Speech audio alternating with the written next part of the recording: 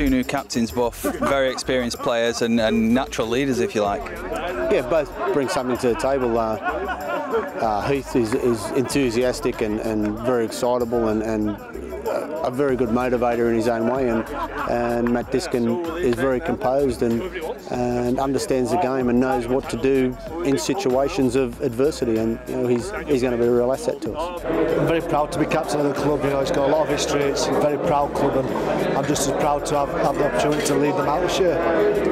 And the club, do you think um, they can go better than last season? Well, they've got to, haven't they, really? We've no choice in the matter. To be fair, it can't get much worse. It was a massive downer for us how we finished the year last year. To not make the playoffs again is a massive underachievement for this club. There's no, no, no kidding ourselves about that. So we have to go one better. We've got the potential. We're just going to start living up to that now. And we can't be making excuses for ourselves. We've got to start to deliver.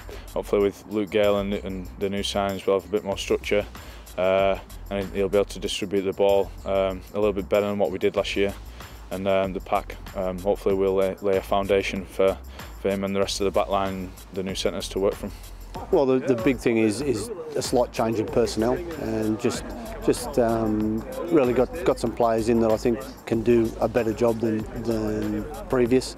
Um, structurally, I think just with a little more time with the players, I think they they understand what they need to do and they need to do everything together. And I think they've got a better understanding, a better trust with each other. So um, defensively, I think we we um, we've trained to be a little bit more aggressive. So we're looking to do that more often. As a sportsman, when you don't achieve what you want to, then you know on it. We didn't achieve anything. We didn't do anything we set out to do, and that's massively disappointing. So plenty of soul searching, plenty of analysis of where we went wrong, and we've worked extremely hard in the off season to try and put that right. And hopefully now this year we've with plenty of hard work and a little bit more thought process into what we're doing, then you know we'll make big inroads into the playoffs this year.